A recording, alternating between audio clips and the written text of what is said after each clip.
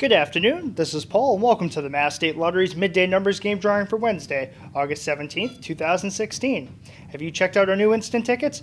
Monopoly Jackpot has a top prize of $4 million and second chance drawings with some really great prizes. Log back on later tonight. Our Megabucks Doubler jackpot for this evening is an estimated $4.1 million. So be sure to pick up your lucky ticket. Now let's take a look at the winning numbers 8622.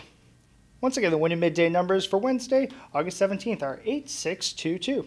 Thanks for stopping by, and we'll see you later tonight. Good luck.